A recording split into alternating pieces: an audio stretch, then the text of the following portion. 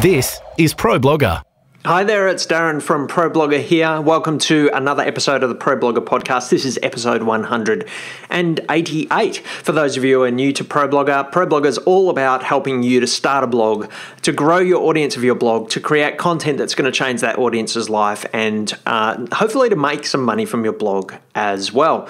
You can find out more about ProBlogger and what we do at ProBlogger.com. Now, in today's lesson, I want to address a question that I've been getting quite a bit lately, and that is how do you juggle two blogs, and should you have two blogs?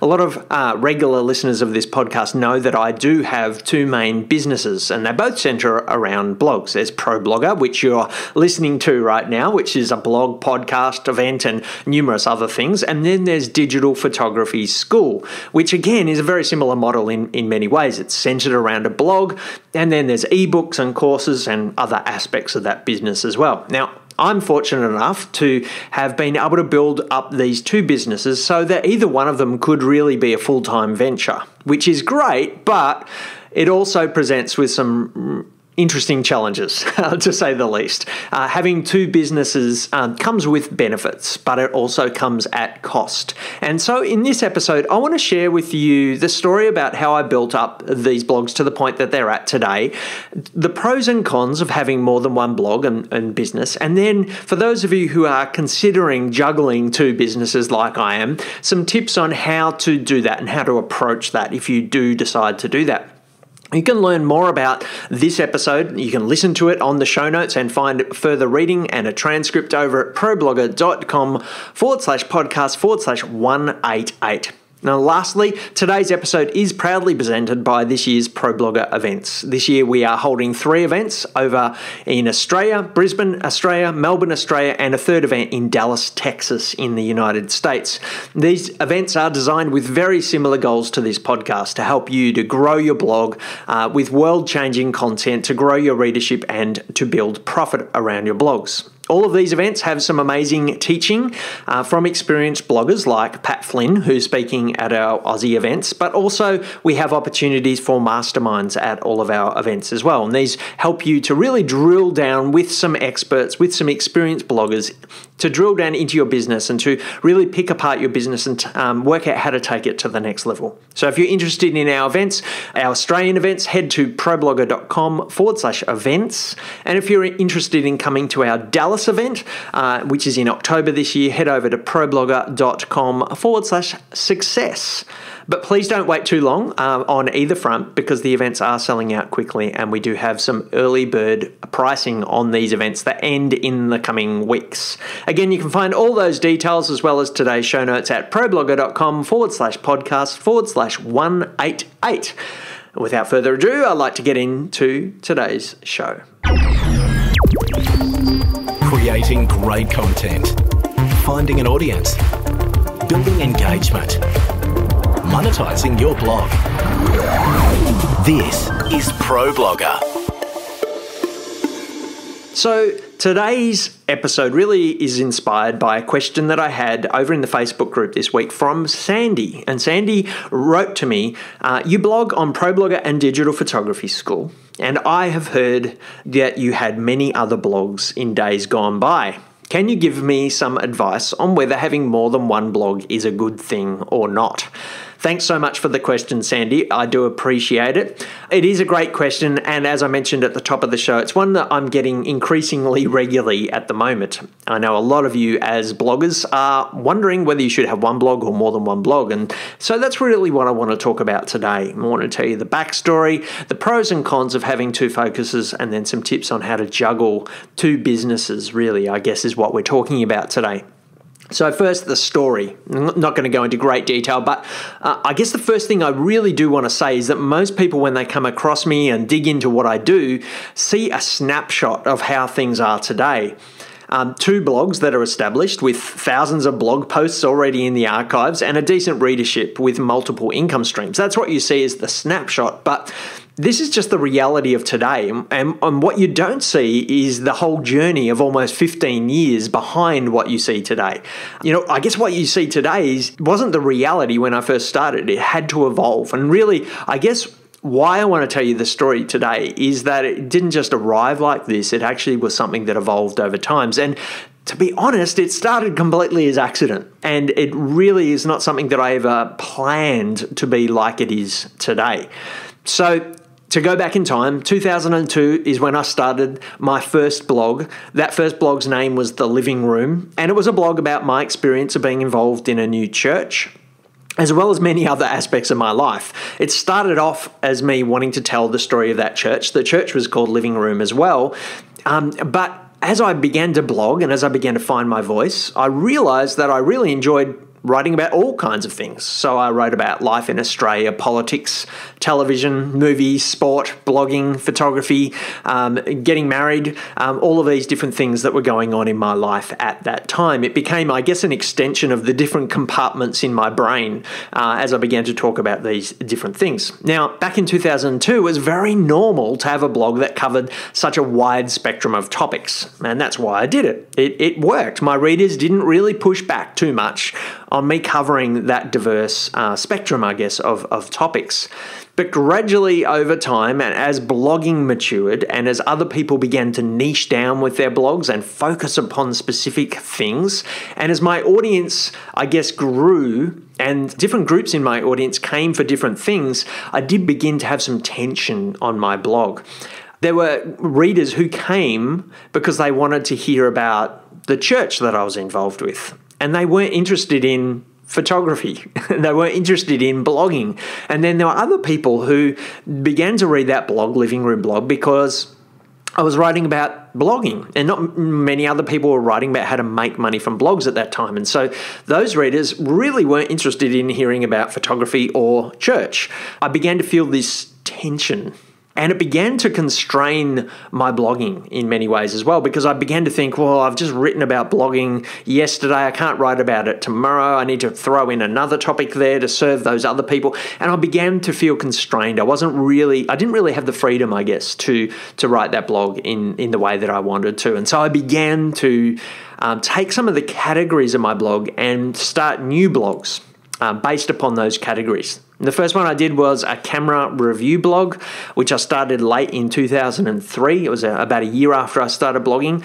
It was a blog where I reviewed cameras, and many of you have heard me talk about that blog in the past. So it worked really well. It was actually the first blog that I began to make some money from by putting some AdSense ads on and, and referring people over to Amazon with affiliate links.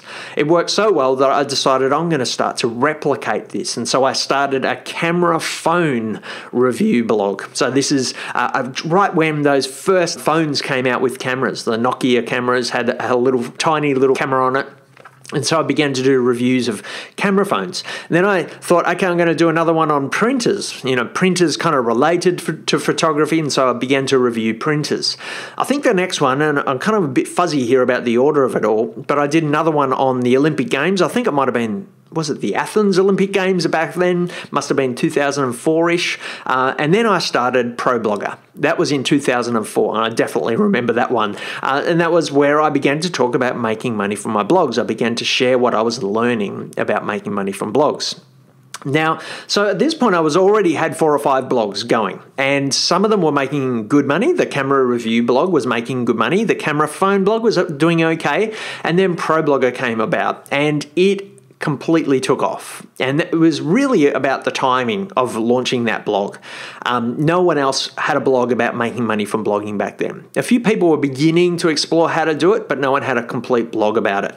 And when I announced that I was making a full time living from blogging and six figures a year from blogging, that became big news. And a lot of other blogs linked to it. Some because they didn't like the idea of people commercializing blogs, and other people because that's what they wanted to do. And so ProBlogger had this tipping point moment. It was even just a few months into the blog, it, it already had a, a, fairly sizable audience and it began to make a little bit of money. Um, and I began to explore different ways of monetizing that blog.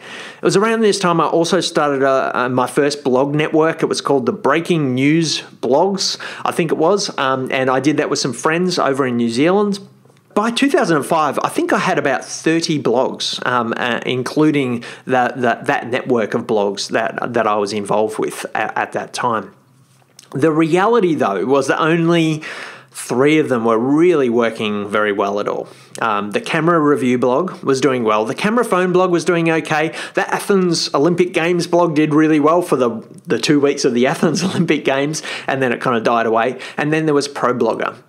And whilst those blogs were working, there was only really one that I was enjoying.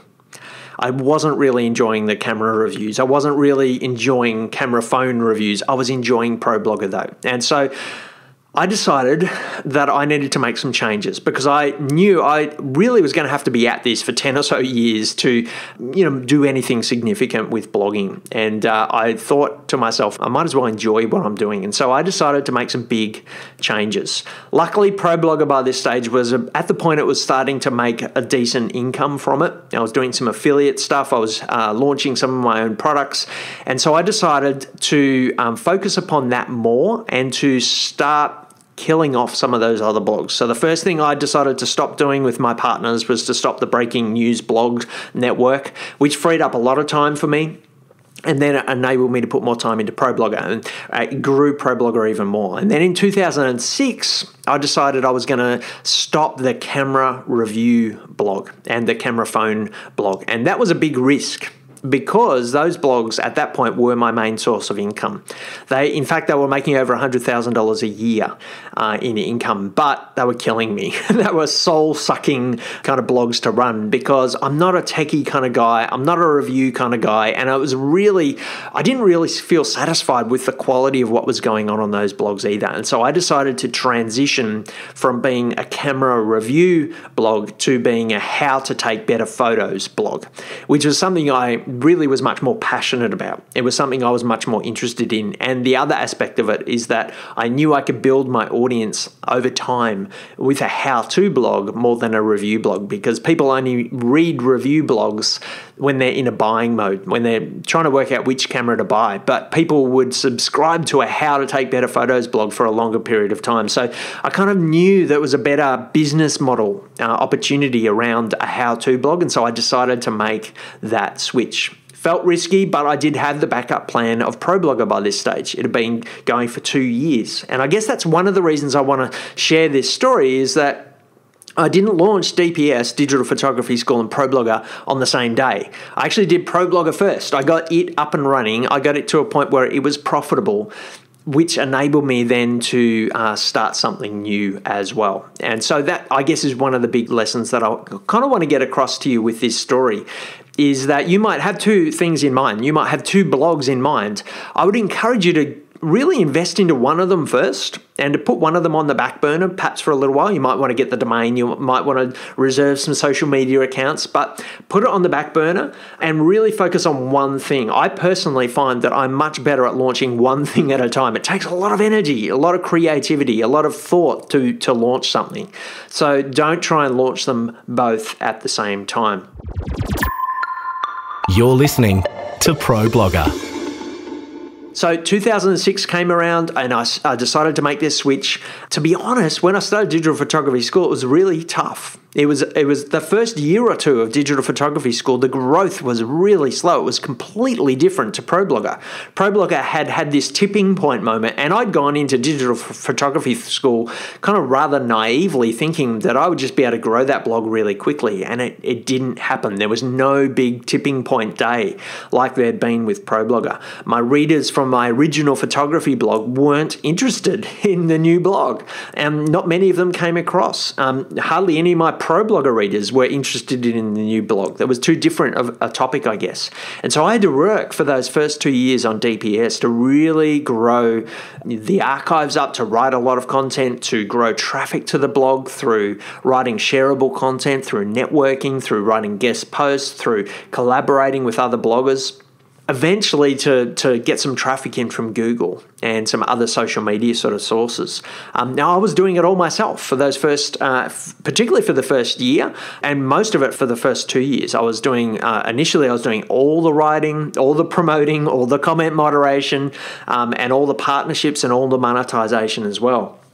And there were numerous times during that first couple of years of DPS where I I almost gave up because it just wasn't taking as fast as I wanted. There was growth, but it was really slow growth. in hindsight, I look back on the stats and I actually see that the growth was steady. And I guess that's the reason that I continued with it is that even though it wasn't spectacular growth, I knew that if I could keep growing that blog by 10% per month or um, even 10% every two or three months, over the long haul, I could see that that would grow to a point where it would um, be a significant amount of traffic and a significant amount of income. So I, I kind of tried to take this long term view all the time, knowing that I had ProBlogger already at a point where it was doing reasonably well.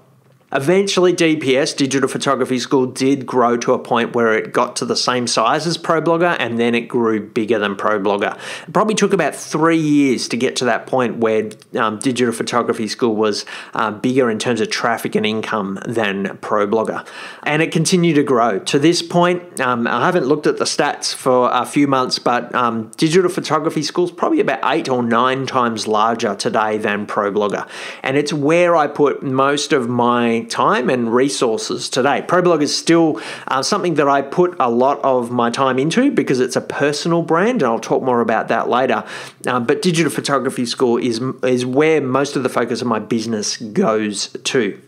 I should say at this point, before I kind of get into some tips, that both DPS uh, and ProBlogger are more than just blogs today. They both started out purely as blogs, but today the blog is at the center of other things. And Digital Photography School today has a range of products around it, ebooks and courses and software. And it's also got a little sister business called SnapnDeals that runs alongside it. So it's more than just a blog. And the same is true with ProBlogger. Of course, you're listening to the podcast today, but we also have a job board and, and events as well. So there's lots of moving parts with both of those businesses businesses, and either one of them could be a full time thing, is a full time thing in terms of income, but also um, both of them could be quite overwhelming because there are a lot of parts to run. So, that's the story. Let me talk a little bit about the pros and cons of having more than one blog or more than one business. Let's start with the good stuff. So the benefits of having multiple blogs. And I've kind of picked on picked up on some of these already as I told my story. The first benefit that I would say of having more than one blogs and and I guess the reason that I started having more than one blog uh, is that it, it brought a certain amount of freedom to my blogging. You know, one of the reasons I decided to have more than one blog in those early days is that I, I felt like I had something to say on more than one topic. I'm a multi passionate kind of person, and I know a lot of you, as readers and listeners of uh, ProBlogger, are in the same boat. I talk to many of you who say you have multi passions. You you are interested in travel as well as food, or you're interested in, in technology or science, or you you have these multiple um, kind of interests. And for me, in those early days, and, and still today, I have multiple interests. I'm I'm interested in spirituality. I'm interested in I'm interested in photography. I was interested in blogging. I was interested in communication communication. All of these things uh, were things I wanted to talk about. And to be able to have more than one blog enabled me to do that with more freedom. I didn't have to worry about my readers so much and whether they wanted me to talk about the different topics um, because I, I, knew that they could um, just really drill into the blog that they wanted to read rather than have to wade through all the other stuff that they weren't interested in. So if you're a multi passionate person, then maybe that is one reason why you might want to have uh, more than one blog. Creating great content and building your audience. This is ProBlogger. Second benefit of having more than one blog from a business perspective is the income diversification. Um, another advantage of having more than one blog, if you're blogging for income, is that by having more than one iron in the fire, it can be a good thing um, it can increase the chances of one of them working for you. Um, now, most bloggers know that there are no guarantees that a blog is going to work. There's no formula for a successful blog that will guarantee you're going to have success. Um, and whilst I teach a lot of principles of building successful blogs, there's no guarantees that any of this is going to work or any of it will hit the mark with your readers. Now, I had 30 blogs, and two of them really worked. And 28 of them didn't. So that kind of gives you some of the kind of chances of having a successful blog. And so having more than one blog, and, and my strategy was okay, I'm going to start lots of blogs and see which one works. And which one works for me as an author, but also which one works for my readers as well. So, um, this is one of the reasons that you might want to have more than one blog to actually have a couple of irons in the fire to test which one works best and then to be able to focus upon that. I knew really quickly after starting all my blogs whether they had a chance of success. You know, I knew when I started that printer blog that I talked about before that it was not going to work. I knew within a couple of months of starting that blog that it was not getting traction. I got no comments. I got no emails of thanks. I got very little traffic. I knew it wasn't going to work. And I also knew that it wasn't giving me any energy as well. It wasn't something I enjoyed at all. I knew, even though digital photography school was slow and it was tough and I felt like giving up at points, I knew it had a good chance of working, even after a few weeks of having that blog, because I started to get comments. I started to get emails from people going, Thank you. I also felt a lot of energy. So having uh, numerous blogs and starting numerous blogs, it was good in that in that regard. It showed me what I wanted to do. It, it unveiled my true passions, I guess, but it also showed me where uh, my audience was responding in, in different ways. So it's good for testing different ideas and, and um, diversifying, I guess, your interests in that way. It also can help in terms of the actual income and diversifying that income as well.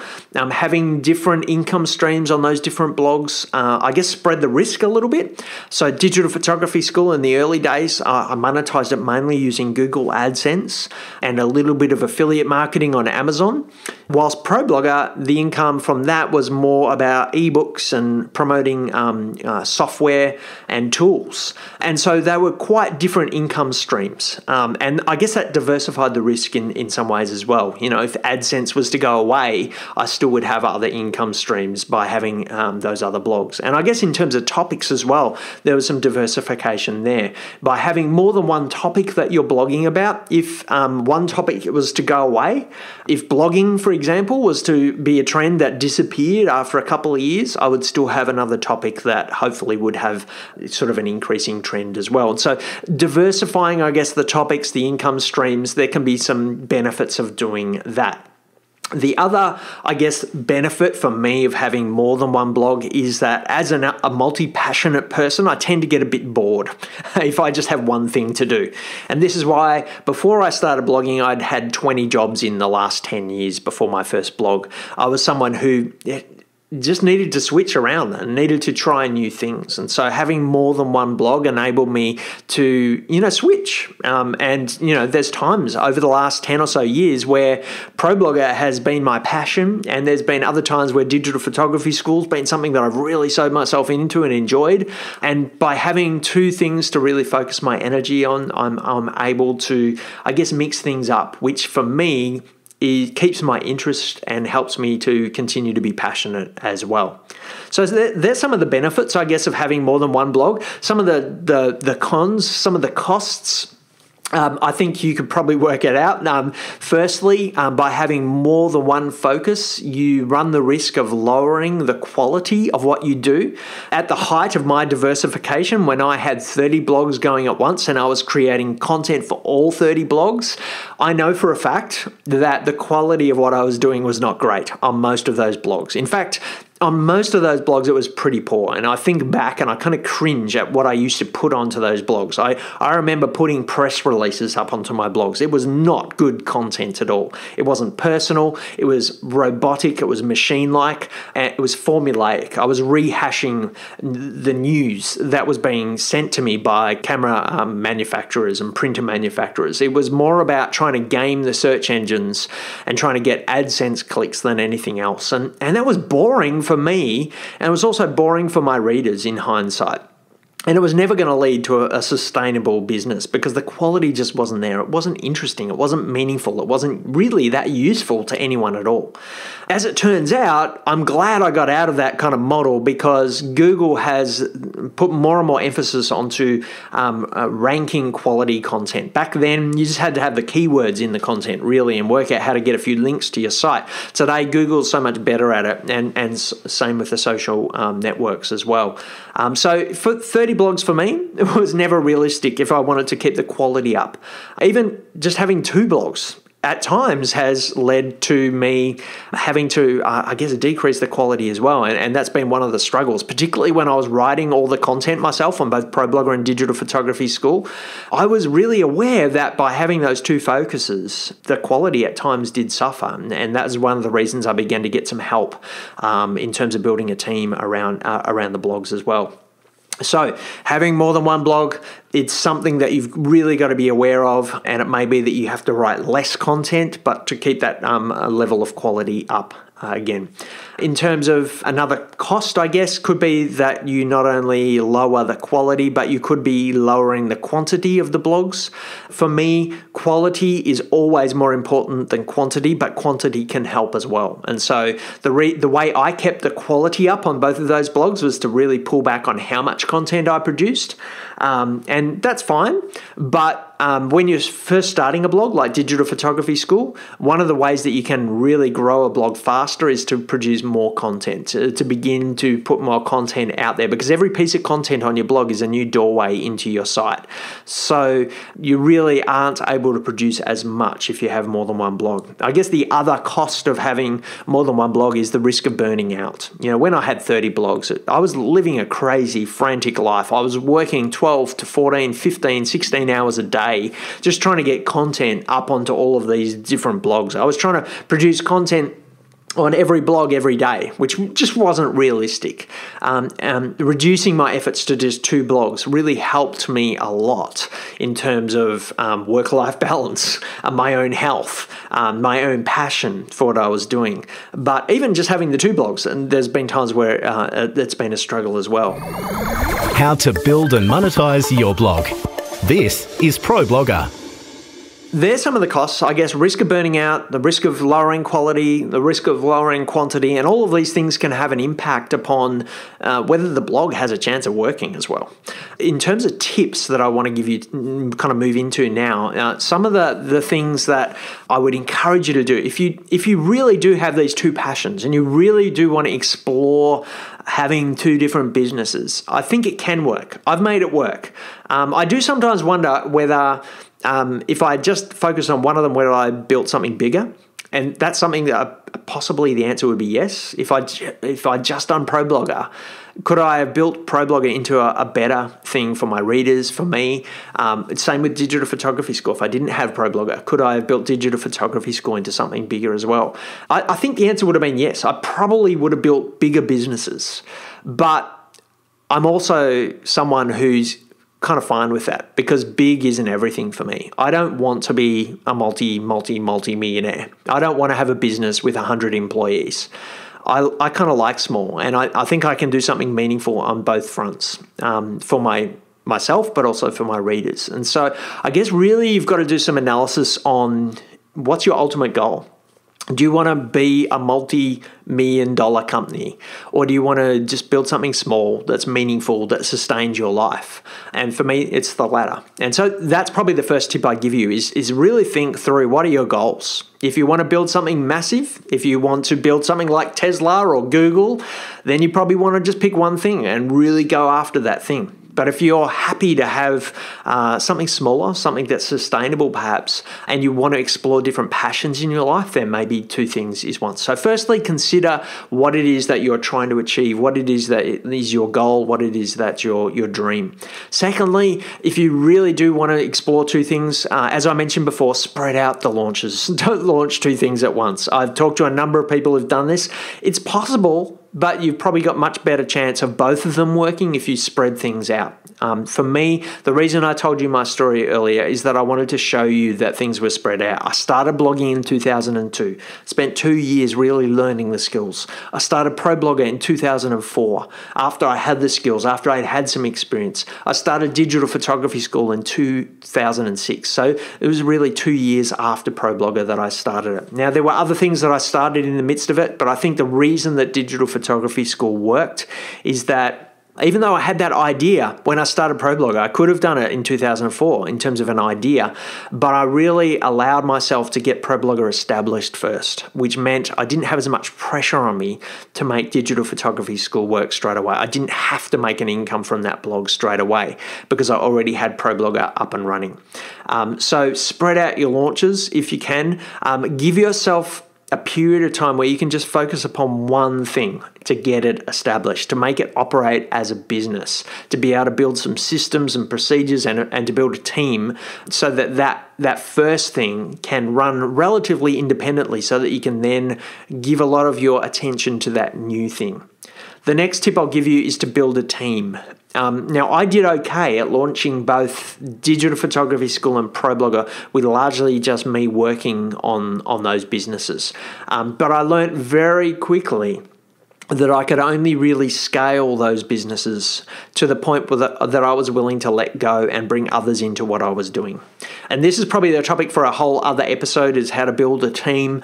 But for me, it uh, initially meant bringing on some other writers my first writers were guest writers, and then I began to build a team of paid writers. Uh, it then um, also meant getting some administrative support, so getting someone in. I think the, the first person I actually hired was to do comment moderation.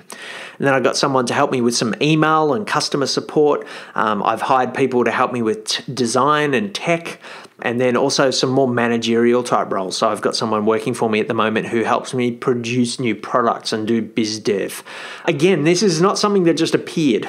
this is something that really evolved. And the first hire, that comment moderator, I think they were earning like ten dollars a day for you know ten minutes of work. It was it was really tiny kind of stuff, and it's gradually grown over time. Now today, I'm fortunate enough to have an amazing uh, little team uh, of seven or eight people who I talk to most days, and they help me with different aspects of the business. They're all part time but they all do things that either free up my time so that I can do what I do best. and I don't have to answer emails or I don't have to um, moderate comments or, or do these things that they can do. So they're either freeing up my time or they're doing things that I I could probably do, but they could do it better than me. So, editing this podcast, the team at Podcast Motor helped me to edit this podcast. Um, they do a much better job. They do it faster than me, which frees up my time, but they also do it at a higher quality. And so, I've, that's really the kind of hires that I make. They either free up my time and free up my mind space, or they uh, have skills that I, I just don't have. Keep in mind, all of these hires didn't just happen. They were all tiny hires in the early days. Uh, some of them actually started as me bartering services, um, giving exposure, that type of thing, and then growing uh, in that relationship. You're listening to ProBlogger. While I'm also talking about team, I guess the other thing I would say about teams, and this is something that's become more important to me over the last couple of years, um, if you do have two businesses and you've got teams, you probably in the early days will have team members who are working on both of the businesses. So, um, to give you an example, uh, Jasmine, who today manages Digital Photography School. Uh, Jasmine actually, for a while there, was working on both sides of the business. She was producing, and I hired her to help me produce products for Digital Photography School. But she was also working on the ProBlogger event and helping to manage that. She was doing an amazing job of both of those things and did really well. But one of the things that we've tried to do with the business over the last little while is to separate the teams out.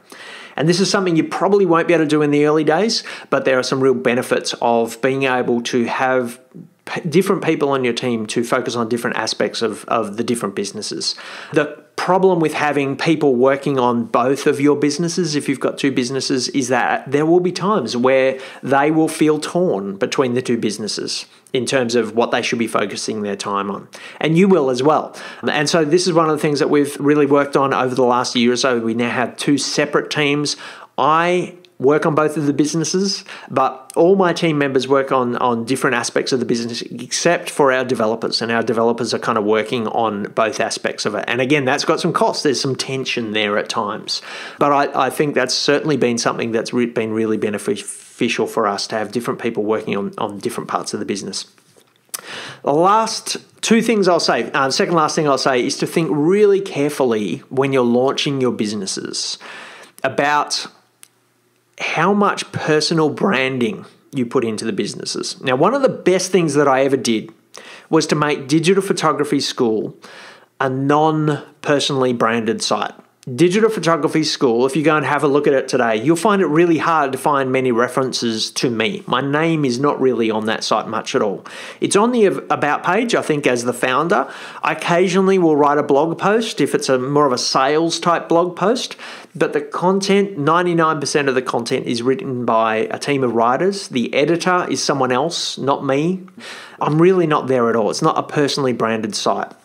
The benefits of that is that I don't need to really do much to keep that site running. In the early days, I did it all, but I've I even in those early days, I didn't really promote myself. Um, I promoted the brand Digital Photography School. It wasn't really a Darren thing, and I knew that that would enable enable me to scale it and to get others involved in that. And so, right from day one, I, I knew I wanted to have other people writing most of the content on that site. I knew I just wasn't going to be able to invest heavily heavily in it for all eternity because I had ProBlogger, which is much more personally branded. Again, if you look at ProBlogger, you see my face on the front page. You see videos of me everywhere. You see my name on a lot of places. I'm the voice of this podcast, and it's much more um, personally branded. And as a result of that, there's a lot more that I have to do to keep ProBlogger running. Now, I um, am committed to that. I enjoy it, and so that's not a problem. But if you had two personally branded sites, that's going to be tough that's going to be really tough. So I'd encourage you, if you are going to do two things, maybe consider making one of them or both of them non personally branded if you can, because it will enable you to scale things a lot bigger. It will enable you to be less involved in the day to day running of, of one or both of those businesses and really help a lot. It will also help you if you eventually do want to sell what you do. Now, I think I would have a much better chance of selling digital photography school one day than ProBlogger. ProBlogger, I, th- I think, could be saleable as well, but uh, there would probably be conditions that I would have to hang around uh, because my uh, my name is associated with that brand a lot more. So um, think carefully about your personally branding. This is ProBlogger. The last thing I'll say is um, one of the things that's helped me a lot is to really work on my routines and batching what I do. And I've talked about batching in the past.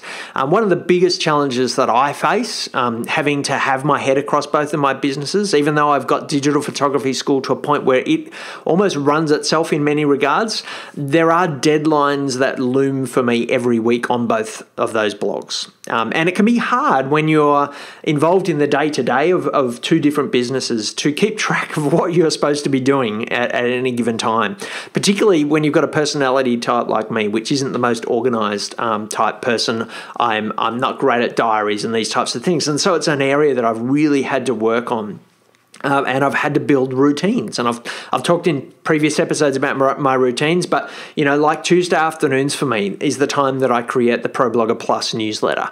Thursday afternoons, um, until about a year ago, I always did the Digital Photography School newsletter. So I separated those two things out onto different days. Uh, today, DPS one gets done by a team member.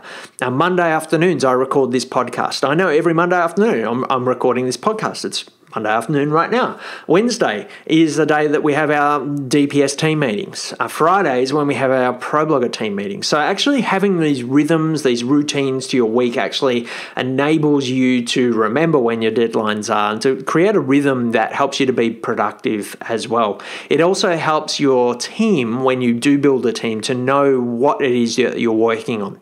My team knows that Wednesdays is DPS team meetings and so if they've got something they want to ask me, they can can just hold off until Wednesday morning um, when we have that, if, if it's a non urgent thing. So they're not pinging me all week, they're, they're putting things onto the agenda for, for that particular time.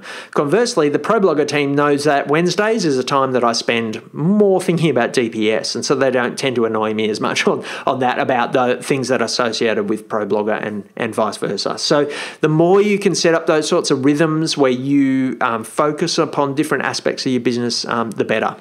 And that's good for you, but it's also good for your team as well.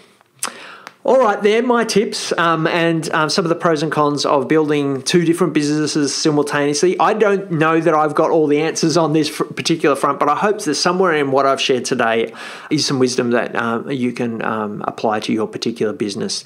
If you've got anything that you would like to add to this conversation, I would love to hear it because I'd love to learn from you. It's a completely selfish request. Let me know what you found to be useful for you if you've got two businesses. You can do that over on the comments at ProBlogger.com com forward slash podcast forward slash 188 or you can head over to the ProBlogger Facebook group. Uh, just go to problogger.com forward slash group and you'll find the group. We'll forward you over to that particular uh, Facebook group where we've got, I think it's a, uh, just over three and a half thousand members now, interacting with each other every week and, and discussing the episodes, but also sharing uh, the tips that we've been picking up on, on blogging as well. And we're keeping each other a bit accountable to what we do in our blogs as well. That's problogger.com forward slash group. We'll take you straight to that Facebook group where you can let me know what you think about today's episode. Lastly, if you've got a moment, head over to iTunes and leave us a review if you haven't already. I love getting those reviews means a lot to me. Helps me to actually uh, stay on track and, and to uh, create podcasts that really do serve you. So if you've got any any reviews that you want to leave um, head over to itunes or your favorite podcast network to do that as well. And I look forward to chatting with you in next week's episode, episode 189 of the ProBlogger podcast. You've been listening to ProBlogger. If you'd like to comment on any of today's topics or subscribe to the series, find us at problogger.com forward slash podcast. Tweet us at ProBlogger. Find us at facebook.com forward slash ProBlogger or search ProBlogger on iTunes. Before I go, I want to give a big shout out and say thank you to Craig Hewitt and the team at Podcast Motor who've been editing all of our podcasts for some time now. Podcast Motor have a great range of services for podcasters at all levels. They can help you to set up your podcast, but also offer a couple of excellent services to help you to edit your shows and get them up with great show notes. Check them out at podcastmotor.com.